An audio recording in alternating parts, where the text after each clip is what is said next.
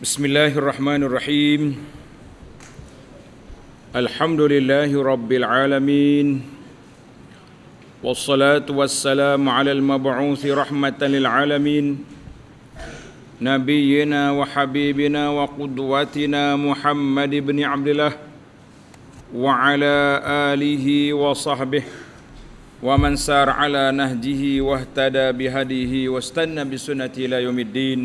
أما بعد.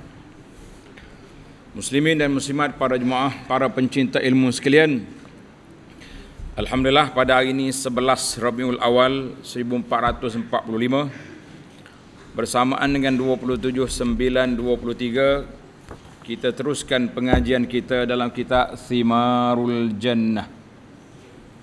Thimarul Jannah tajuk yang kita akan bincang ini masih di muka surat 44 masih lagi perbincangan kita tentang perkara-perkara yang wajib dipelajari. Dia panggil ilmu fardu ain. Perkara yang wajib dipelajari itu nama apa?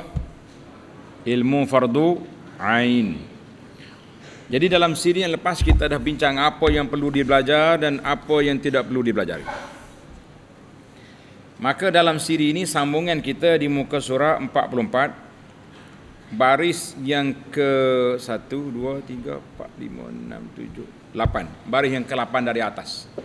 Oh tak jumpa cari baris 8 baris 8 jumpa tajuk dianya wal muharramat wal wajibatul ainiyah ma'rufatun bainal muslimin. Apa dia maksud? Maksudnya dan bermula segala perkara yang haram. Benda hak jelas haram Gapo dia kita kata benda jelas haram? Arak. Lagi? Judi. Lagi?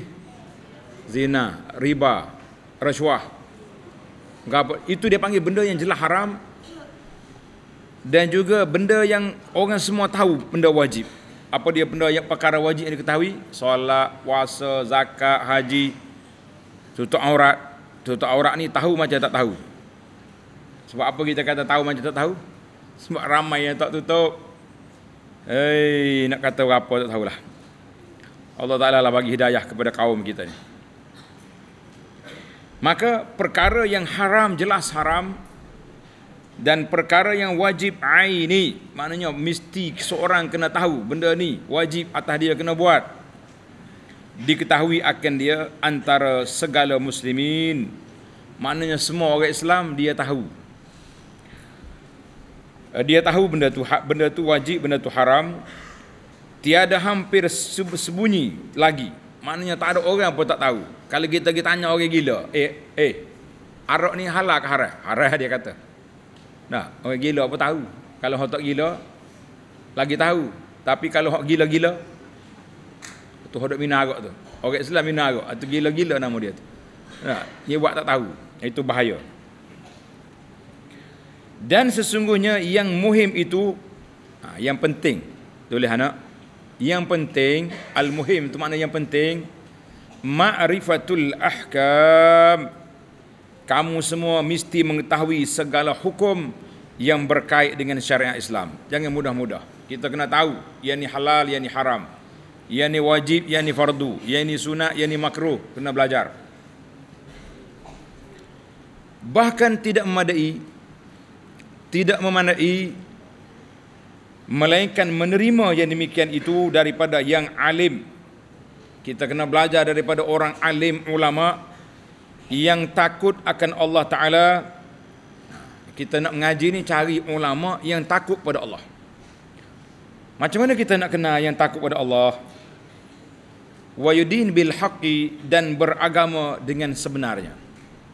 Tanda ni tadi tepi kita di antara ciri-ciri tokoh ulama yang takut pada Allah iaitulah dia beramal dengan ilmu dia.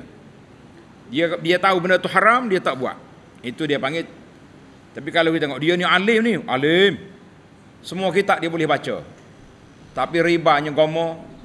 Bini dia betul-betul aurat. Rokok sepam mulut tulis itu. Ah, ha, ni alim merokok kita kata down dia punya grade. Sebab rokok tu haram. Macam mana boleh hisap? Ha, jadi kecuali dia buat tak tahu. Nah, itu masalah kita. Jadi kalau nak tahu orang alim yang betul-betul beragama, kita tengok dia dengan ilmu dia jujur atau tak jujur. Maknanya kalau dia beramal dengan ilmu dia, kita pergi belajar. Kalau dia tak tak beramal ilmu, mengajar ya sedap, tapi beramalnya tidak, kita kata lah, itu tidak alim Rabbani. Itu alim cakap je lebih. Ha. Wal ammatu tukhti wa tusib. Orang yang awam banyak tersalah. Dan mungkin juga betul. Ha. Mengenai itu maknanya betul. Tulis mula terjemahan. Mungkin dia tersalah dan mengenai ia maknanya betul juga ada dia betul utusib fa iyyaka an taf'ala ma yaf'alunahu maka jangan kamu ikut buat apa yang mereka buat ha? dan meninggal engkau akan barang yang meninggal oleh mereka itu kerana mengikut dengan mereka itu maka bahawasanya tiada sah mengikut melainkan dengan ulama yang beramal dengan ilmunya apa dia maksud? Kenapa awak buat ni? Orang ramai buat. Orang awam ramai-ramai buat. Kita pun ikut buat juga. Jangan. Kenapa awak tak buat? Ni orang tak buat? Tak. Bukan menjadi kayu ukur dalam hidup kita ni nak buat ke tak nak buat dengan orang ramai. Tak. Buat ke tak buat? Tinggal ke tak tinggal? Kita ukur dengan ilmu ulama Rabbani yang berpegang dengan Quran dengan sunnah. Barulah kita selamat. Walaupun tak ramai pengikut, tak semestinya ramai pengikut itu betul. Tulis itu. Tidak semestinya ramai pengikut menunjukkan orang itu betul. Lah. Kalau nak ukur lagu tu, nanya ke Nabi-Nabi. Para Nabi tak ramai pengikut. Abu Jahal lebih ramai daripada pengikut Nabi di Mekah. Ha. Yang betul itu, tanda pelajar. Yang betul itu, yang bertepatan dengan Quran dengan Sunnah, baru betul dan juga amalan para ulama salafus salih di kalangan sahabat dan tabi'in. Itu ukuran kita. Mana kalau kita ikut orang yang orang-orang ramai-ramai tapi dia tak betul, kita pun tak betul juga. Allahu akbar apa dia kata ni? Wa qad azza al-yawm 'alim. Eh, penak dia ni. Dan sesungguhnya sedikit pada hari ini orang yang alim beramal dengan ilmunya. Allah. Orang alim yang beramal dengan ilmu ha sedikit kata tu Syekh. Orang bercakap ilmu ramai. Orang buah ilmu lagi ramai. Ni ahli-ahli motivasi ni. Oh bercakap sedap. Alilul lisan. Lidahnya petah bercakap. Kalau dia bercakap guru tok guru besar apa kalah. Tapi tengok amalan dia banyak yang salah. Ha, itu gitu itu berbahaya. Ramai orang bercakap tapi yang betul-betul alim al-az makna azun makna qalil. Maka apabila menghendaki engkau akan yang alim ini pada masa ini ha, jadi kalau kita nak buat satu benda, nak tinggal satu benda, kita cari orang alim pada masa kita ini yang memperbuatkan sesuatu atau meninggal akan dia daripada barang yang jahil ia akan keadaannya sebenar atau batil maka tiada terpedaya tiada terpada engkau dengan semata-mata dilihat akan dia pada berbuat atau meninggalkan. Kita pun eh aku ni tengok ustaz ni buat tu email ni buat Pak Haji ni buat. Aku nak buat juga? La. Ataupun semua orang ni tak buat. Kita pun tak nak buat juga? La. Habis hingga engkau tanya akan dia. Ha, mungkin tanya dulu. Daripada wajah demikian kenapa tuan syekh buat ni? Ustaz kenapa ustaz buat macam ni?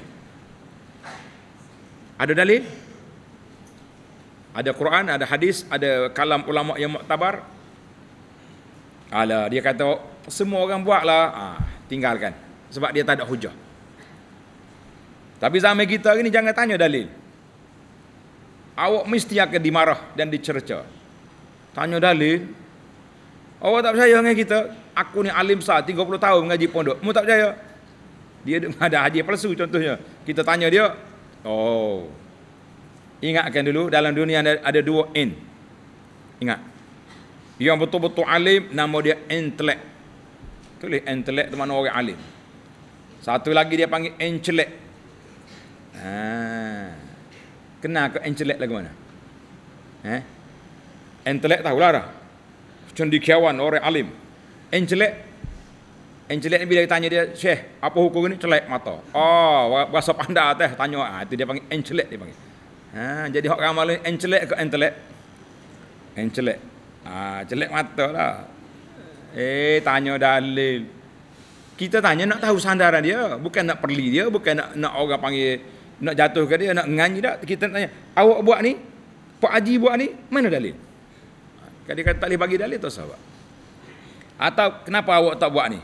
Ha, ramai juga orang tak buat benda sunnah. Ramai. Kita tengok tak, semaya sunat tak buat.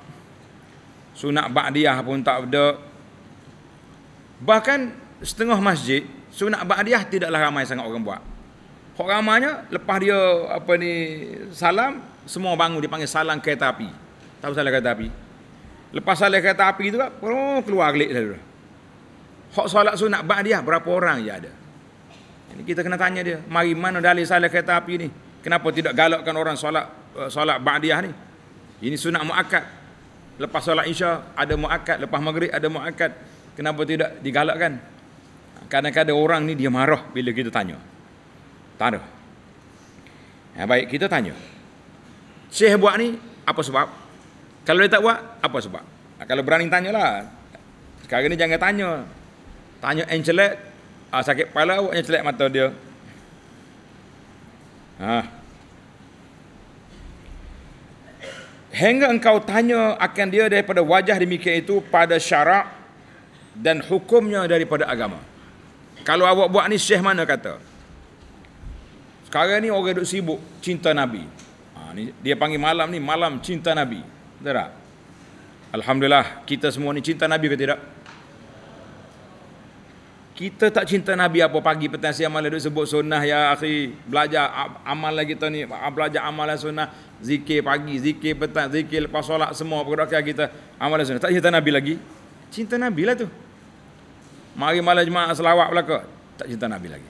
Dok, selagi tak buat gendar dalam masjid cinta Nabi. Ha, kita tanya. Tuan Syekh nak bergendar dalam masjid sebab cinta Nabi. Zaman Abu Bakar ada? Tak ada. Umar tak buat juga. Ali menantu Nabi yang disayangi tak buat. Uthman tak buat. Habis ada ulama sahabat pak ni tak cinta Nabi, kita je cinta. Ha, macam mana nak jawab? Sekarang ni siapa cinta? Yang buat hak Nabi tak buat, para sahabat tak buat ke?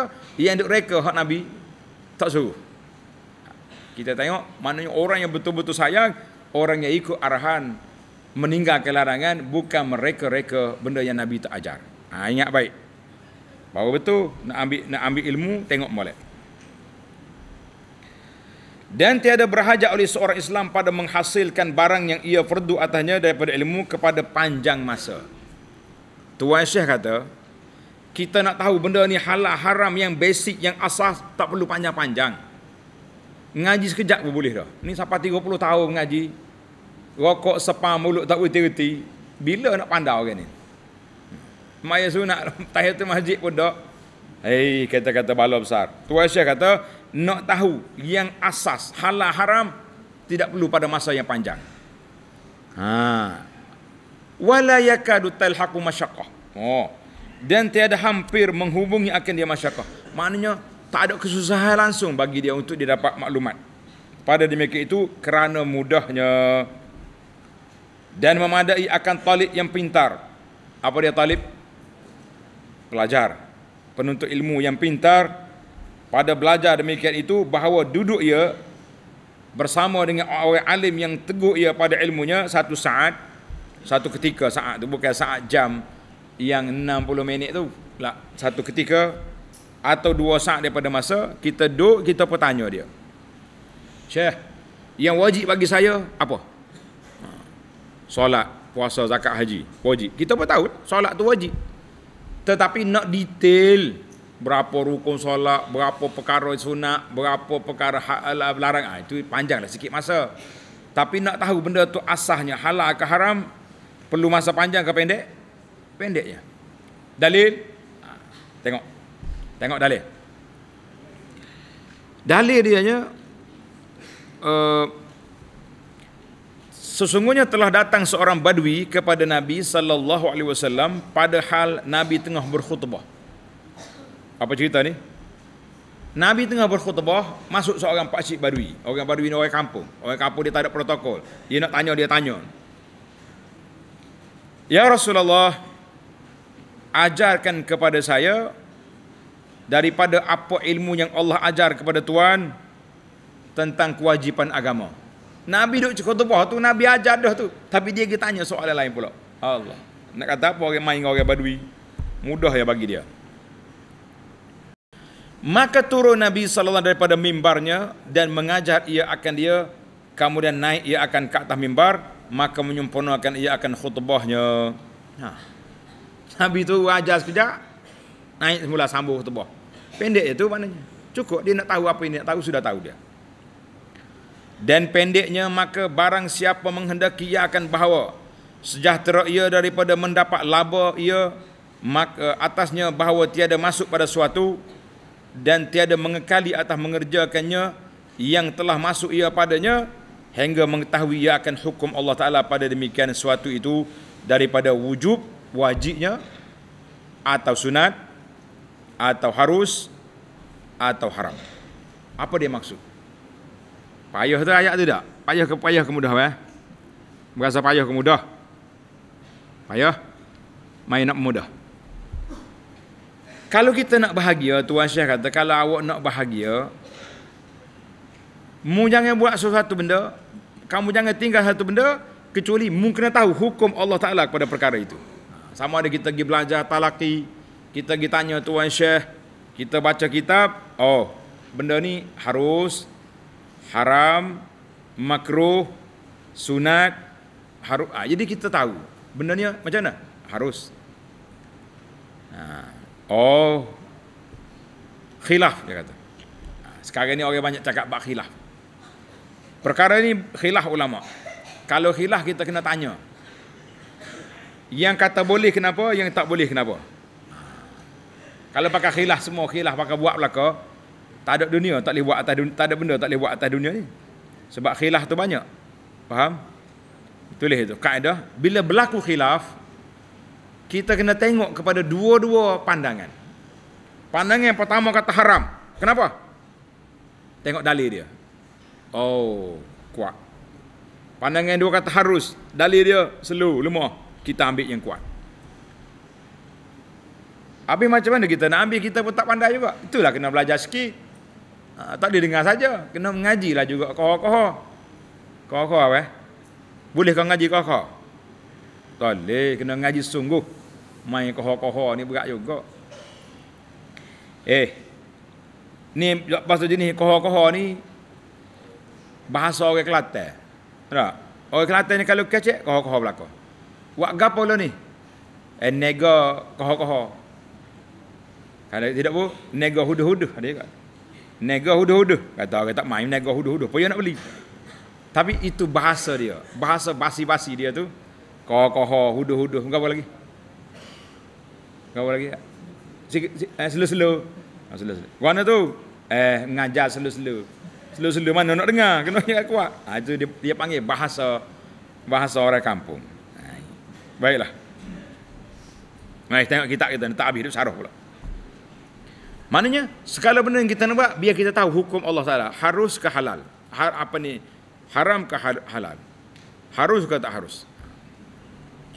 Maka sekalian perkara itu tiada sunyi daripada salah satu daripada ini segala perkara yang empat. Apa yang empat? Haram, halal. Apa lagi? Wajib, sunat. Jadi kita kena tahu benda tu. Dan bermula yang asbah. Asbah tu dia bermula yang asbah ni. Hmm. Asbah tu mana? Yang lebih kuat. Yang lebih jelasnya bahawa perkara wajib ia atas tiap-tiap muslim. Ha, wal asbah anhan anna hadzal amr wajibun ala kulli muslimin.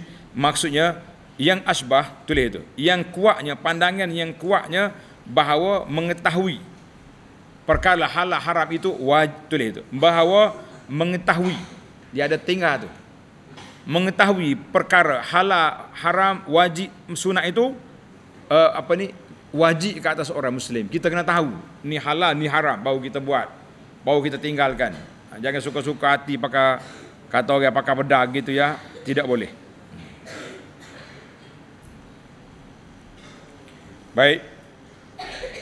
Ha. Dan bermula oh kemudian summa innal mu'minin yang qasimuna ila umma khusus. Tulis tepi kita dua kategori orang mukmin. Dua kategori orang beriman ada ketua uh, apa ni? Dua kategori.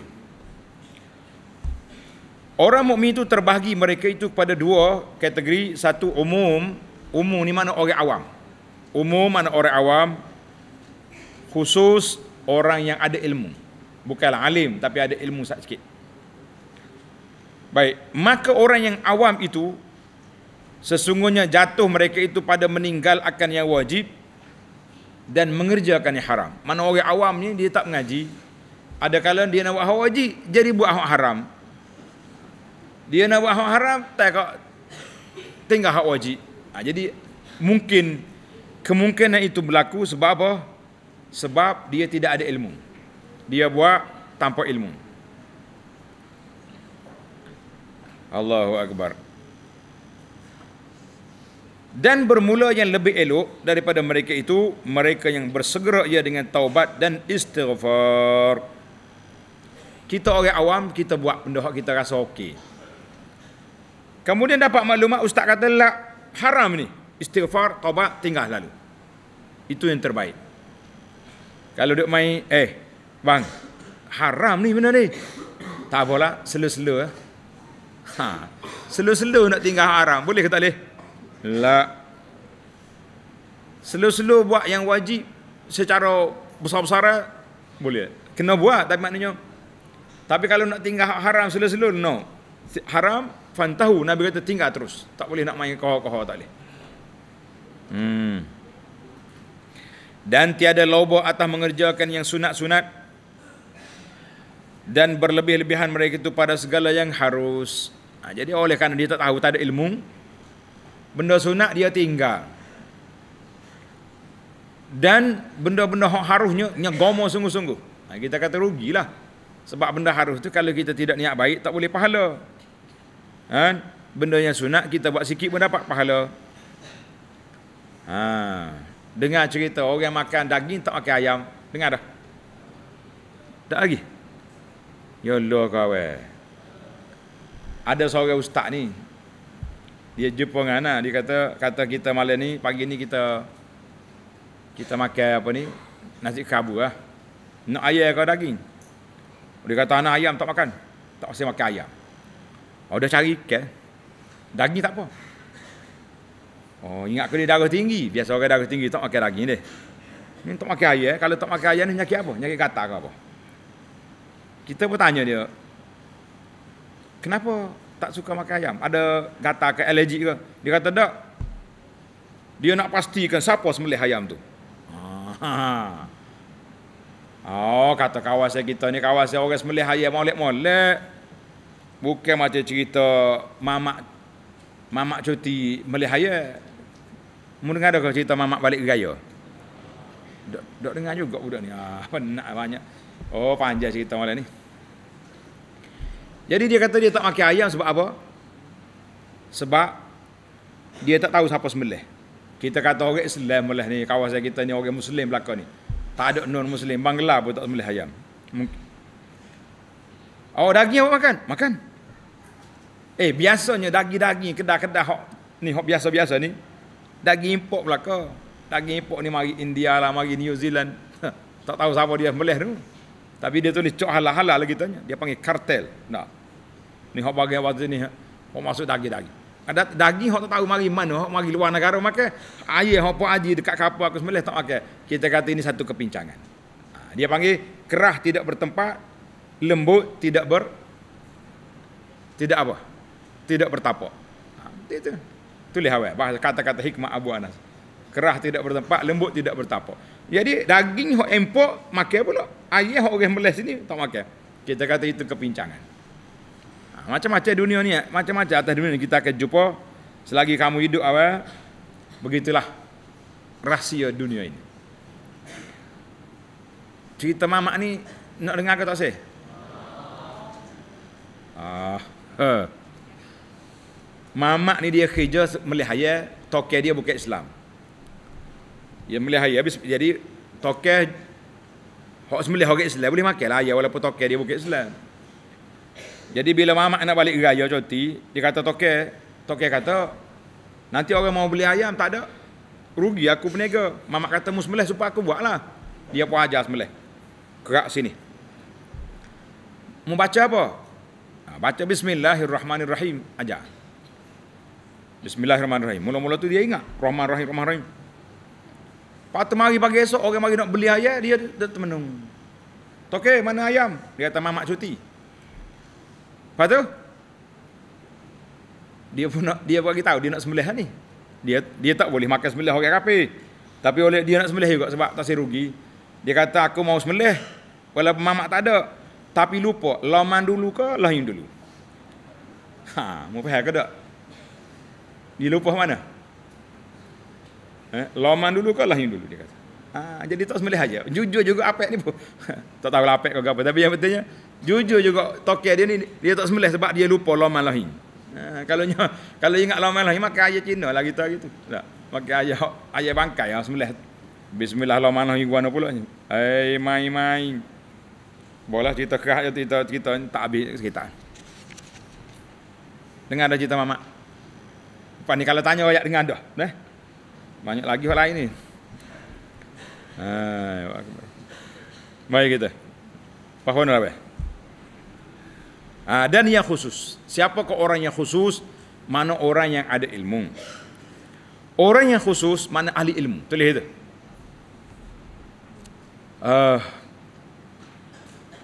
Faya'udun al-wajibat Maka mereka orang yang ada ilmu Menunaikan mereka itu akan perkara yang wajib ha, Perkara yang wajib Dan meninggalkan mereka itu akan segala yang haram Dengan tiap-tiap kelakuan Maknanya dia tahu hak ni wajib, hak ni haram, yang ni kena buat, yang ni tak payah buat.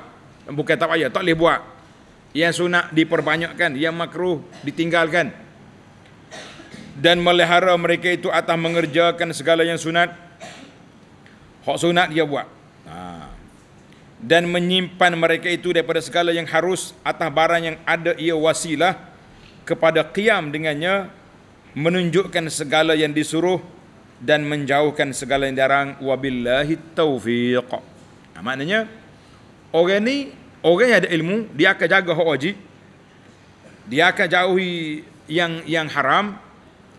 Dia akan perbanyakkan yang sunat dan yang harus diperbuatkan sebagai satu cara untuk mendapat pahala.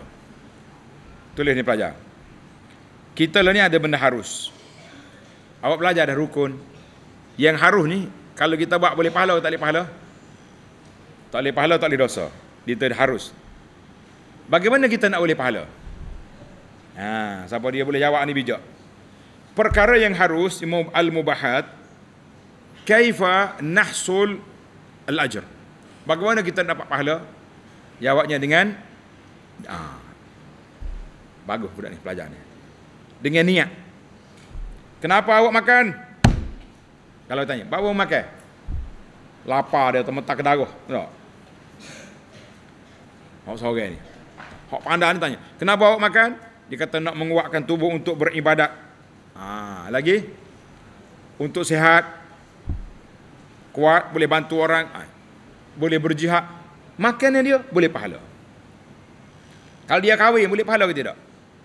Boleh pahala. Sebab apa dia kahwin? Suka-suka ya. Senin nak selfie. Hei, selfie. Selfie mudah nak suakik bini.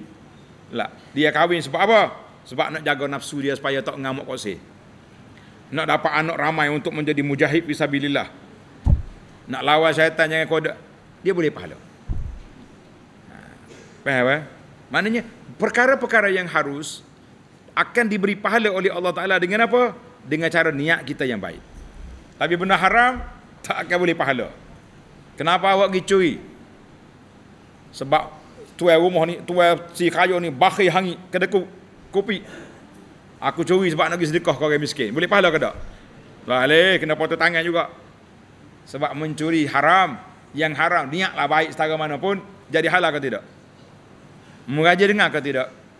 Orang nak okok baca doa. Allahumma barik lana bima razaqtana. Hai, cucu hapi. Bismillah ada. Kalau dia buat boleh pahala ke tak? Pasal apa tak boleh pahala? Mu berani klik ayat kayuh mungkin ni. Ah, tak berani. Ah, tak apa lah lawa we. Orang nak suruh balik berdakwah. Nah. Ha. Kita balik rumah tengok kakak ke mak ke pakai baju kelawar nak pergi pasar malam. Berani awak tegur. Mak kena lutut, berani tegur. Kena lutut tak berani, tak? Nyala sini atas atas ni. Mak nak gimana tu jangok tu. Eh budak ni kena celek mata kemok lagi sudah kita dah. Ha, ini, ha, ini kita ingat. Jadi kita benda yang harus kita boleh uh, tasamo tapi perkara yang haram mesti ditegaskan. Ha, barulah kita jadi orang yang betul. Kalau tidak tak jadi betul. Ha, jadi betul ke tidak? Tamatlah kita alhamdulillah wabillahi taufik. Baiklah. Kita ambil bab baru pula tambah awal. Tulis bab baru ni tajuk dia kewajipan tulis tajuk. Kitab ni tak ada tajuk, kita letak tajuk. Insya-Allah nanti dicetak baru ni versi syarah Abu Anas ni ada tajuk. Tajuk dia kewajipan menjaga kebersihan zahir dan batin. Ha, kewajipan menjaga kebersihan zahir dan dan batin. Wa alayka biluzumin nazafati zahiran wa batinan. Dan wajib atasmu dengan melazimkan mana sentiasa menjaga kebersihan zahir dan batin. Dua-dua sekali kena jaga. Maka bahawasanya mereka yang sempurna bersihnya jadilah ruhnya ia ruhnya dan hatinya malaikat yang rohani dan adalah badannya dan rupa rupanya manusia yang jasmani sekalipun. Maknanya kalau kita jiwa kita ni baik, tak ada hasad dengki, tak ada dendam, tak ada serabut ke orang. Tubuh kita pula suci bersih, tak ada busuk, comel molek, wangi. Seolah-olah kita macam malaikat yang berjalan di atas muka bumi. Seolah-olah ya tak akan jadi malaikat kita orang, mana boleh jadi malaikat. Ha. Dan sesungguhnya sesungguhnya sebelum Nabi itu letak pangkos itu. Letak garisan di atas dia. Srek. Kata ulama. Tulis itu. Sebab ini bukan hadis. Kita sudah semak dalam beberapa kitab hadis. Ulama kata ini bukan hadis. Dia kata apa? Buniyad dinu ala nazafah. Buniyad dinu ala nazafah. Artinya dibina akan agama itu atas bersih. Tulis. Kata di uh, apa dia ni? Syekh Subki, Subki ini seorang ulama Syafi'i. Dalam tabaqatus Syafi'iyah dia kata lam ajid lahu isnadan. Aku tak jumpa sana. Kalau nak kata Nabi kata tak jumpa sana. Mula Al-Qari juga kata tak jumpa sana. Dia kata kata-kata ini bukan hadis walaupun benar makna dia. Memang agama kita ni nak kepada kebersihan zahir dengan batin. Setiap kali nak solat kena taharah, kena wudu, kena mandi bagi orang yang janabah. Tapi kata-kata lagu ni nak angkat ke Nabi tidak boleh. Sebab tu kita kata letak garis di bawah kata-kata sebenar Nabi tu, tulis. Kalau nak ngajar esok, ikut ni. Kata berkata ulama, bunyal Islamu ala nazafah, Islam itu dibina di atas di atas kebersihan. Ha, yang ni. Ada lagi kata-kata masyhur. Tulis awak kata-kata masyhur dalam buku mutalaah. Siapa dia belajar belajar tingkat atas satu mutalaah ada sini. An-nazafatu minal iman. Ada kata tak? Itu hadis ke tidak? Itu pun bukan juga. Jadi dia kata dia bukan hadis tapi makna dia betul. Laisa bi hadis maknahu sahih. Nah, lain. Maknanya an-nazafatu bersih itu sebahagian daripada iman tapi bukan bukan hadis. Baca tu dari kita kita apa ni ulama dulu masukkan kata-kata dalam buku mutalaah dia tak masuk dalam buku ayat hadis faham tak ya kena faham boleh dan sebenar nabi hak ni tak apa dan diriwayatkan nabi bersabda tulis itu tulis dan diriwayatkan sabda nabi sallallahu alaihi wasallam innallaha nazifun yuhibbun nazafah innallaha nazifun yuhibbun nazafah Artinya Allah Ta'ala itu bersih. Kasih ia akan bersih. Tutup kurungan. Tutup kurungan. Tulis hadis ini. Hadis ini rawahu termizi. Dengan sanak yang daif. Sanak dia lemah. Jadi kalau hadis daif kita kata diriwayatkan. Ruwiyah. Ruwiyah. Tapi Bunyaddin tadi tak ada. An-Nazafatu ilal imam pun sama juga. tutup kurungan setakat bersih dan hasil bersih pada batin dengan dibersih akan diri daripada yang keji-keji perangai ha tulis cara nak bersih batin iaitulah kita bersihkan diri kita daripada perangai yang buruk seperti takabur. Apa makna takabur? Takabur ni mana sombong. Menjatuhkan orang menghina orang. Dia rasa dia ya betul itu takabur. Dan ria apa dia ria Heh? apa dia? Buat ibadat nak tunjuk ke orang. Mula-mula kita malah nak semaya lah. tengok ada orang masuk masjid oh dah Allahu Akbar. Begini tunduk tak bergerak. Pasal nak suruh orang lain ha, itu dia panggil riak. Dan hasad penyakit hasad dengki. Dan kasih akan dunia dia panggil hubbud dunia. Dan segala saudaranya maknanya seangkatan dengan dia. Riya takabur ujub ala, semua penyakit-penyakit hati itu ha, jadi ini semua uh, yang yang merusakkan hati kita. Kalau nak tahu perkara rusak ni tulis apa? Nak tahu perkara yang rusak baca dalam buku kita penawar bagi hati. Penawar bagi hati baca dah? Khatan kan? Ha, kita baca pula. Habis baca pula baca pula. Sebab tak, uh, kitab tu memang penting dalam kehidupan kita ni kena ada ilmu tentang penawar bagi hati. Kalau tidak payah kita nak betul channel kita ni. Hmm. dan menghiasi ha, dengar ni. Kita nak bersihkan batin kita daripada sifat-sifat mazmumah yang buruk dan kita hiaskan. Kita hiaskan hati kita dengan sifat mahmudah. Tulis belajar. Dihiaskan hati dengan sifat mahmudah. Mana sifat yang terpuji maka kita hiaskan hati kita dengan makarimul akhlak. Tulis akhlak yang mulia.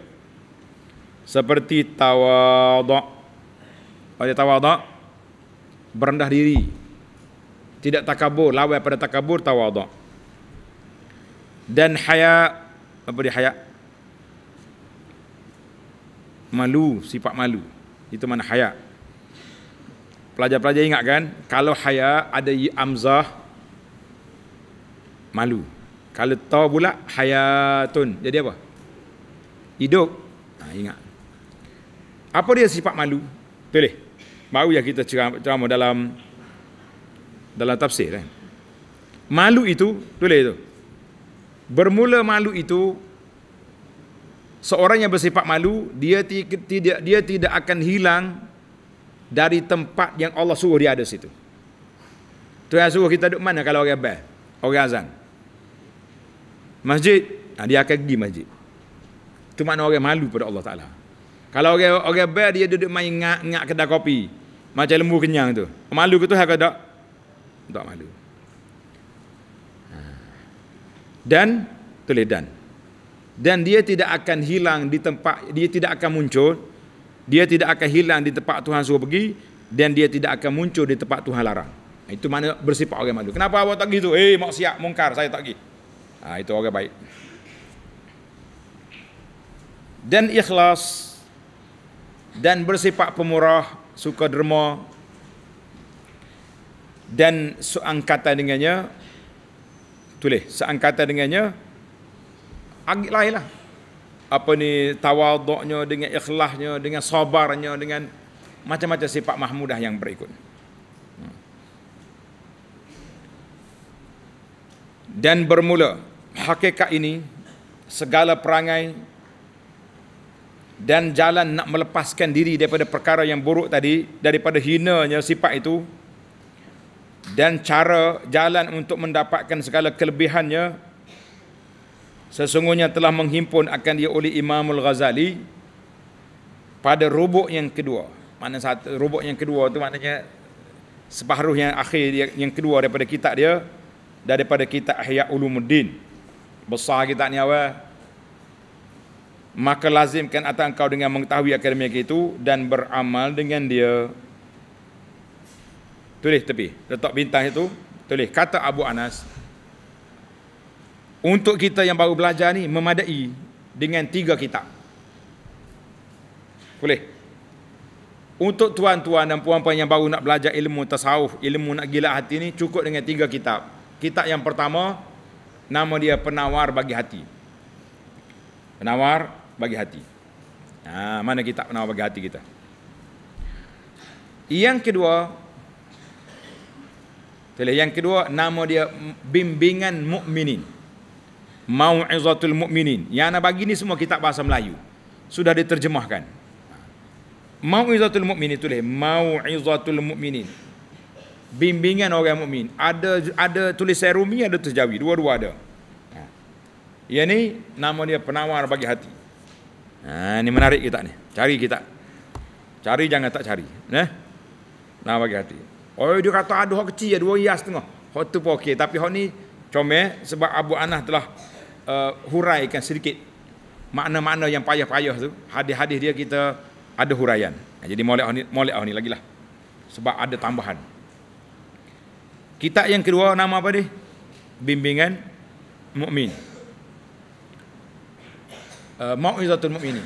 Kitab yang ketiga, semua kitab ni dalam bahasa Malaysia ada, bahasa Melayu. Nama dia Mukhtasar Minhaj Al-Qasidin. Mukhtasar Minhaj Al-Qasidin dengan terjemahan pustaka salam. Dia dengan nama Jalan Orang yang Menuju kepada Allah. Tulis ikut Melayu. Jalan Orang yang Menuju kepada Allah. Kata Alhamdulillah. Weh. Ha, tiga-tiga kitab ini Abu Anas telah khatam syarah. Ia ni ada 30 siri. 30 siri di pondok ni. Di Masjid Negara Kuala Lumpur 27 siri. Sebab sana panjang. Dia bagi masa 2 jam. Sini satu jam pun tak habis. Kitab yang kedua nama dia Mau'izatul Mukminin kita khatam di masjid kita ini alhamdulillah sebanyak 150 siri. Tiga tahun aku mengajar sini. Baru khatam. Eh?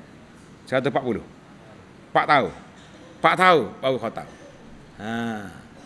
Kalau awak nak cepat, ambil 150 ni, setiap malam baca satu, tengok satu siri, satu siri, 150 berapa bulan? Tiga kali lima, lima belah. Lima bulan khatam. Ya kita mengajar sini, empat tahun baru khatam. Ha, cepat. Kitab yang ketiga, Minhajul Qasidin, Alhamdulillah khatam. Anda mengajar di Kuala Lumpur.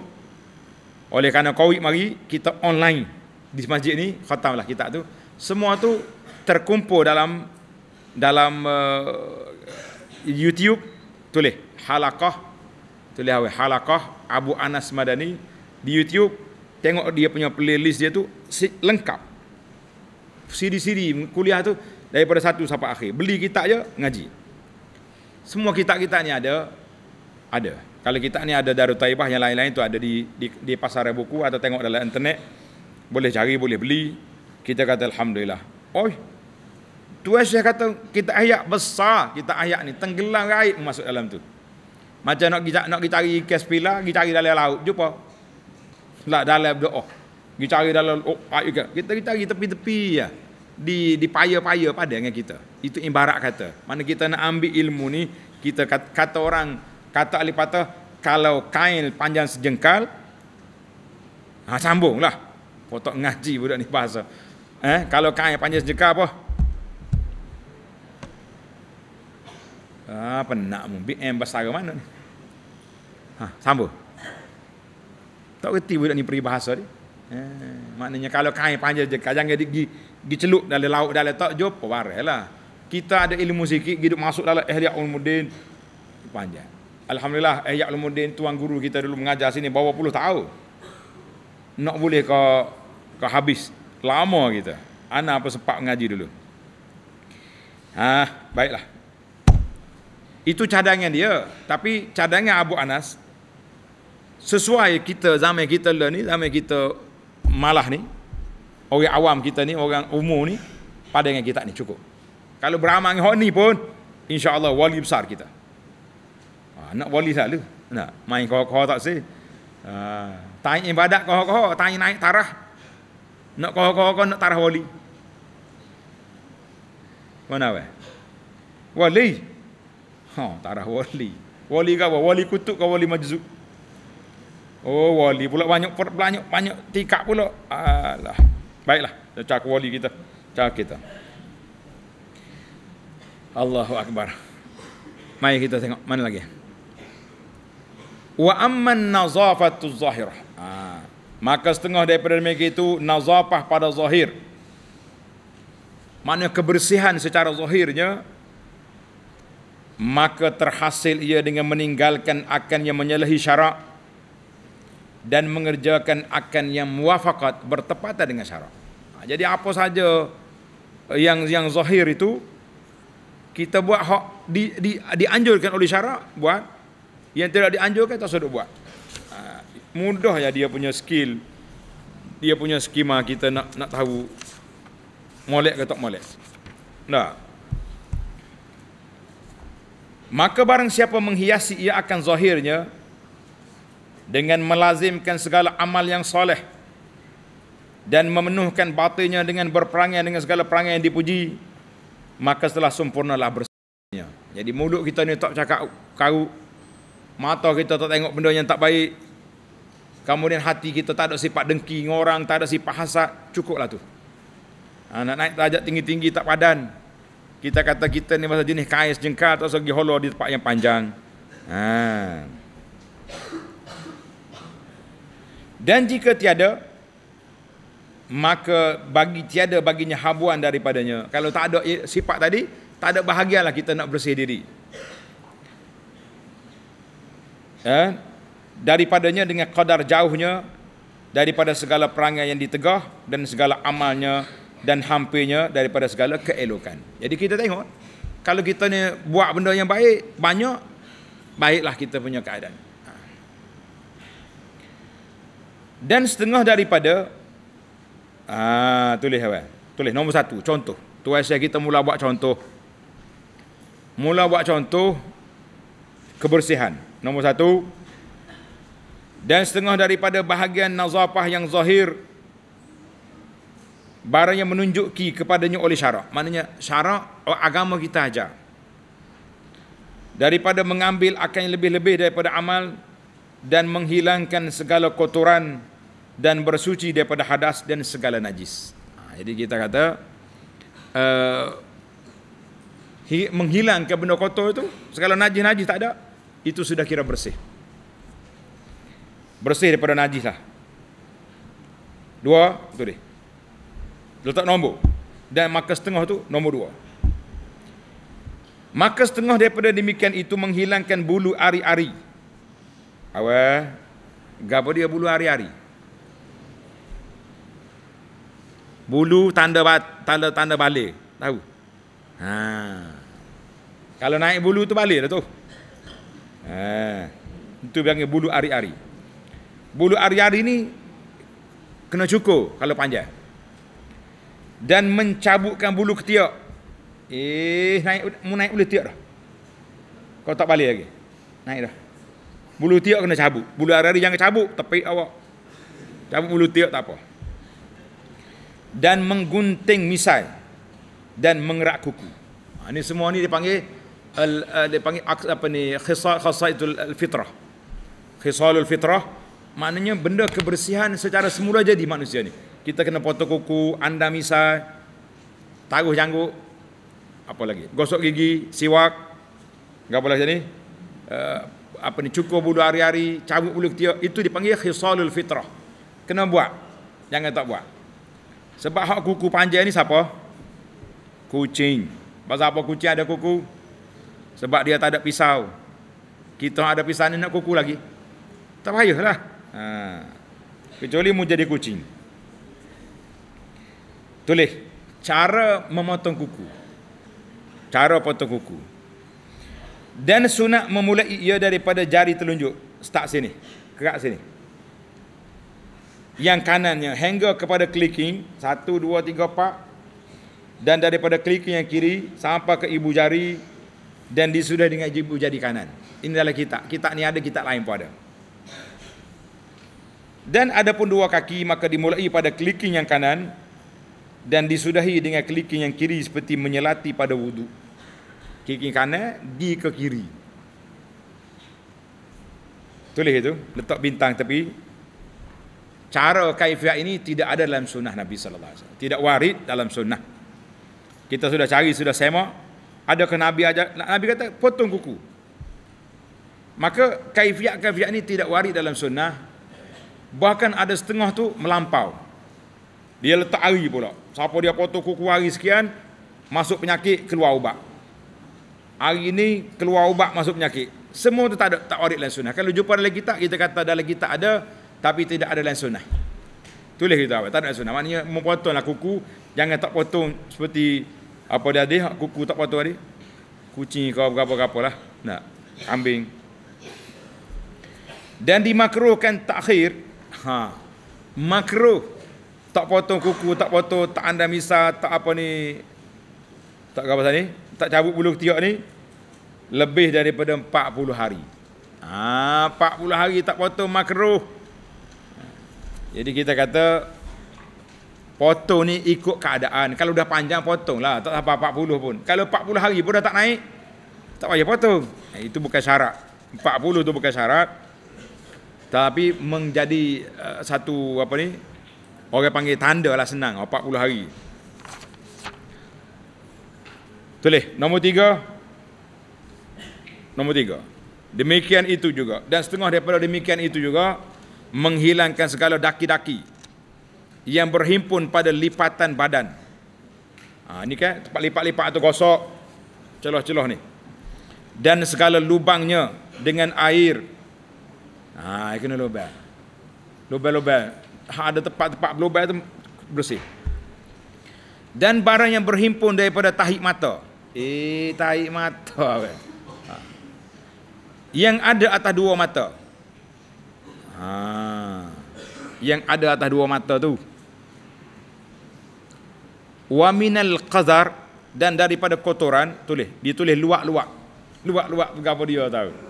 Tulis dalam bahasa Arab kata qazar. Qazar kotoran yang ada pada dua lubang hidung. Ha, lubang hidung kita ni kan nampak sombak ada tahi hidung, crank automatic. Dan membersihkan juga di antara daripada makanan antara dua gigi dengan diselati. Maknanya celah-celah gigi kita ni kalau ada makanan kita kena ada beruh gigi. Eh? Buat. Jangan main kecek dengan orang sengih. Ha. ha. baru makan sambal dia tu. Nah, ha, makan sayur ke. Jangan tak molek apa gitu. Ha. Dan lazimkan atas engkau dengan bersihkan mulutmu dengan disugi. Sama ada dengan kayu sugi atau dengan beruh gigi. Dan keadaannya daripada kayu arak. Awal tulis. Kayu arak tu mana kayu sugi tu. Mu jangan pula arak yang mabuk tak mabuk ni. Kan? Aula lebih utama. Mana kalau kita ada kayu sugi lebih baik daripada beruh gigi. Entahlah beli sekali ya. Dan terlebih muakkad ia, maknanya sangat dituntut bersugi ketika nak beribadat nak solat ke, nak baca Quran ke, bersugi dulu. Dan dibersihkan kain engkau dengan air bila kotor, bila-bila kotor ia daripada ketiadaan berlebihan. Mana jangan guna air lebih, membazir pula. Berapa dah kita apa? Kategori yang keempat. Tulis nombor empat. Dan setengah daripada adat-adat yang mengikut bagi nazafah memakai minyak pada bulu janggut dan misai uh, dan menyisir akan dia dengan sisir. Ha, jadi kalau kita rambut panjang ada minyak. Misal panjang buah minyak, janggut minyak. Pat sikit. Kita nak sisir apa seronyih gini. Ah. Mana awak hok hok janggut panjang sini ada. Dia kaya hok jenis ini tak seh ada. Seh. Tak ada seh sini tak ada janggut jepuk belaka ni. Ha, dah lah jepuk cukup pula. Eh, dengar ni awak kena pesan kamu. Sebelum mutu sebelum janggut ni kita pesan awal-awal. Kenapa Allah Ta'ala buat laki-laki berjanggut, perempuan tak ada janggut? Pasal apa? Sebab apa? Nak beza laki-laki perempuan. Le ni kalau mu ada janggut mu cukup, bermakna awak nak jadi perempuan. So ke tak so? Hah? Ha, mu jangan cukup janggut. Sipai. Allah dia kata, korek, ada tiga orang. Ada tiga orang betul situ. Sunnah. Simpan janggut itu sunnah. Jangan pula sepuluh orang, orang jahat tu dia nyanyi. Ada janggut tak ada misa, apa namanya? Kambing. Ada misa tak ada janggut kucing, pasal perangai. Boleh juga main ke sunnah Nabi kita. Jangan. Ha, main kambing lah kita pula dah. Hei, awal. Dan setengah uh, memakai minyak. Dan demikian lagi tiap-tiap bulu yang dikosakkan bersih akan dia. Jadi semualah rambut kita ni kena pakai minyak. Comel-comel. Dan memakai celok Ha, celak mata. Dengan ismit. Ismit itu nama debu. Orang buat celak. Kalau orang Arab tahu ismit ni, buat celak mata. Pada tiap-tiap mata. Ada awal kita pakai celak sini? Tak ada ni. Cari orang laki-laki bercelak, orang perempuan ada. Boleh kita laki-laki bercelak tak apa. Dan adalah Nabi SAW memakai ia pada tiap-tiap malam seperti itu. Pakai celak Nabi. Dan memakai bau-bauan. Maka bahawasanya menutupi akan segala bau-bau yang busuk. Dan lebih muakkad ketika hudurul jumaah maknanya kita kena pakai minyak wangi ini ketika kita nak pergi semaya jemaah lebih utama. Dan yang tinggal daripada segala perhimpunan Islam. Tulis itu mulai tak tahu apa yang tinggal. Tulis mulai apa eh yang tinggal tu maknanya dan segala tempat perhimpunan umat Islam. Solat Jumaat, solat raya, ada majlis, jadi kita kena pakai wangian. Jangan pergi dengan tiap busuk itu jangan. Jangan pergi dengan ketiak busuk. Apa? Dan adalah Rasulullah sallallahu alaihi wasallam kasih ia akan dia dan memperbanyak ia daripadanya. Dan terkadang dilihat dengan cahaya bau-bauan atas pertengahan kepalanya jadi ada kala yang orang panggil, dia panggil wabi sotib. Nampak di muka Nabi ni minyak bekas dia comor minyak wangi. Ha gitu. Insya-Allah malam ni kita comor minyak wangi belakang ni. Ni ada sikit lagi ni. Ha. Main comor ni. Ya, biar wangi malam ni. Dan bermula demikian itu supaya menjadikan ia sunnah ia dengan dia dan jika tiada maka sungguhnya adalah Nabi kita SAW baginya bau pada badannya comel yang terkaya ia daripada dengan dia daripada bau-bauan. Hingga bahawa mereka itu sahabat menghimpun mereka itu akan peluhnya maka menjadikan bau-bauan mereka itu dengan dia. Eh nabi kita tu kalau dia tak pakai minyak wangi pun dia sendiri tu wangi. Kalau nabi tidur sahabat-sahabat ambil peluh dia tu simpan wangi. Tapi dia pakai tu nak ajar kita kita tak wangi ni kalau tak pakai minyak wangi bau ke apa? Ah, bau jebak. Jebak musa bang. Nah. Tu zaman muda, zaman tua lagi lain pula. Eh, zaman muda dulu kita pakai minyak wangi, sudah tua pakai minyak minyak angin. Ah, budak ni tak reti. Nah, itu ni itu mazhab orang tua. Ada muda-muda minyak wangi, sudah tua eh minyak angin. Jangan pakai minyak angin di masjid.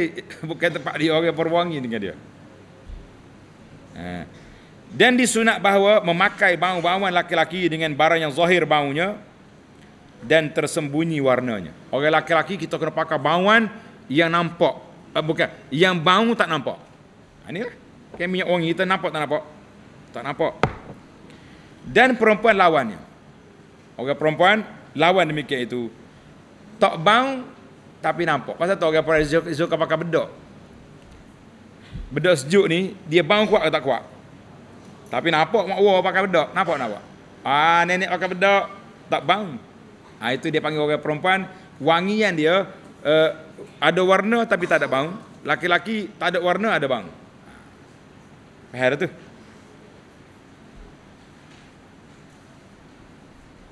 Dan ah tulis yang terakhir penutup dan lazimkan atas kau mana mestilah kamu semua itu dengan memelihara daripada segala jenis najis-najis sekaliannya. Sebut jenis najis, hapuskan basuh bersih, jangan kena.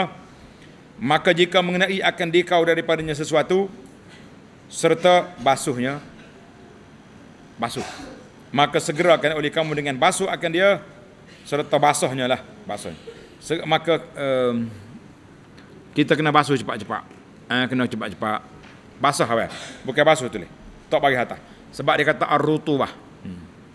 Fa in asabaka syai'un minha min ma'ar-rutubah, kalau benda kita kena pada kita tu lembab, basah, basuh cepat.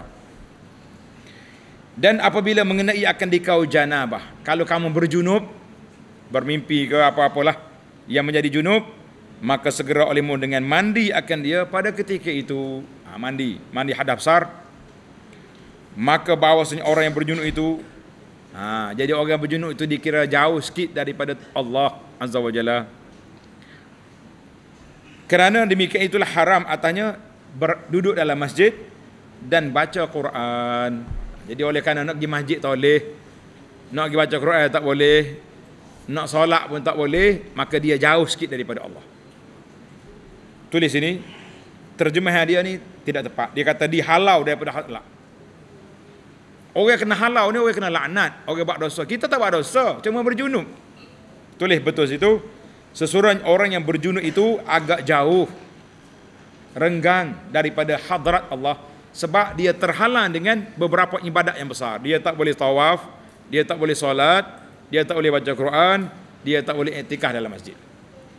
Faham tak faham eh? Ha, itu faham. Jadi maknanya supaya kita tidak jauh daripada Allah kita ber bertoharah sentiasa. Kalau ada hadas besar mandi.